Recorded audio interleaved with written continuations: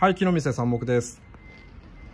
今日はですねこれは栗の一枚板になります。大きなね割れとか、えー、節もなくね、まあ、この辺がちょっとこうあの花割れですね。ちょっとねあの元のところから割れが入ってて、まあ、ここも、えー、パテでね埋めてますけど、まあ、そういう風な感じで全体的にはまあ本当にシンプルですけどあとここですね。ここもパテ埋めしてます。え、これはですね長さが2800の長さになります。そして、えー、まあ、幅がですね大体、40、まあ、狭いところがね大体この辺から48センチくらいが一番狭いところですね、まあ、ここの辺が大体49センチくらいです。でちょっとこう狭くなって45センチくらいが大体こう来て。で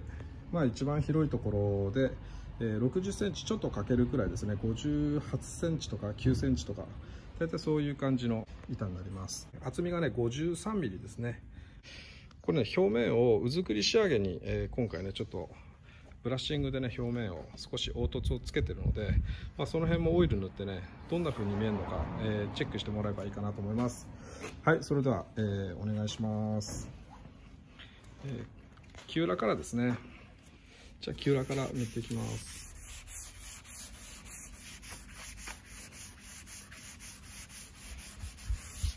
木裏も1箇所ねそこに節がありますけど、まあ、大体は大きなね割れもなく。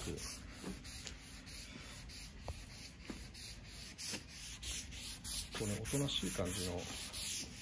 上品なね感じの、えー、炒め木ですね。そういう栗の一枚板ですね、木裏の方もね。木裏を、えー、表面に使った場合だと、まあ大体台面の広さが大体50センチから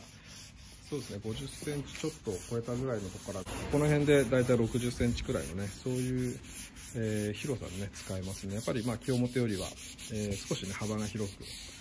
えー、板としてね、あの、カウンターとか、そういうね、え板として使えますね。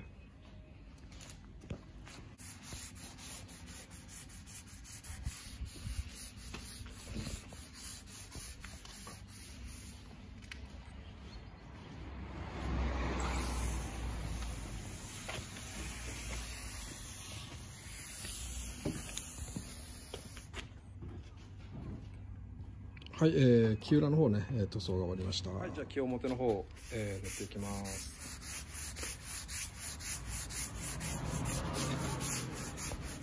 木表がね、あのー、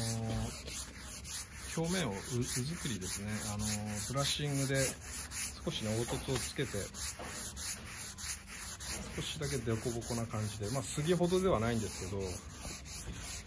あ、硬い木なのでね、まあ、あのそんなにそんなに深く夏目をね削るまではいかないですけど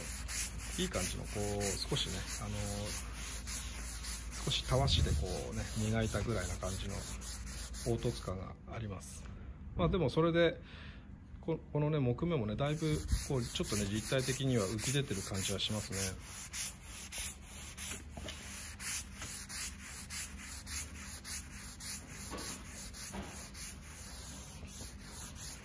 この栗は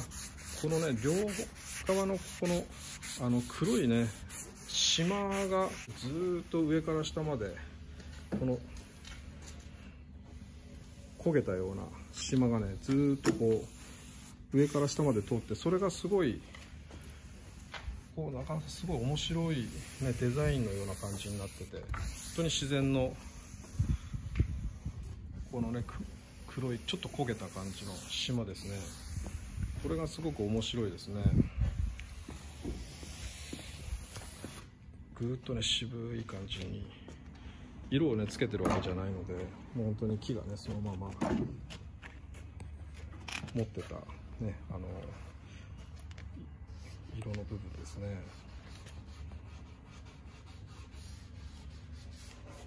こういう感じに見えます。すごくねちょっと珍しいですね。こういう感じで本当に2本ね両側に入ってるので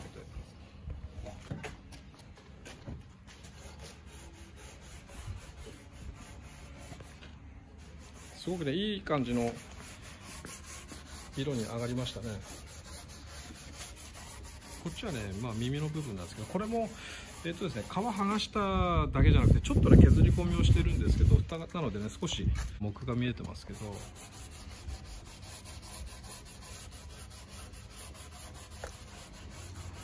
ただそれはそれで耳の部分にも少しねあの皮の残った部分もありながらねすごく雰囲気があってあの仕上がりとしてはなんかよさいい感じですね。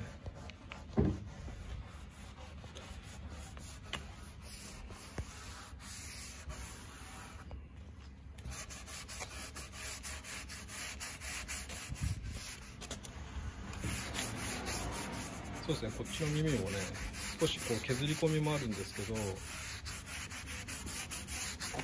残ってるね部分も。いい感じちょっとこう甘皮の色がね少し残ってる感じで。はい、えー、塗装が終わりまして。小口もねこんな感じですね。割れたところですけどここもね埋めてます。こう分かりますかね？このう作りにねちょっとしたこの立体的なところがなんとなくなんとなくこの凹凸ね感じがちょっと分かってもらえればいいかなと思いますけど触触るとねなんかこういい感じのねこの手触り感があってはいすごく雰囲気あっていいですね。はい、えー、すごいねこの島がやっぱ珍しいですね。なかなかこういう風な感じでカウンターに使われるようなね感じだとは思うんですけど是非ねやっぱりこの両側の部分ね片側切り落としたりしないでね両側こう使ってもらえるような感じで、えー、デザインねしていただけるとこの島がいい感じでね雰囲気があっていいんじゃないかなと思います。はい、えー、そんな感じで、えー、栗の一枚板の表面をね作りにしたえー、1枚板のオイル塗装を今やってみました、えー、ご視聴ありがとうございます。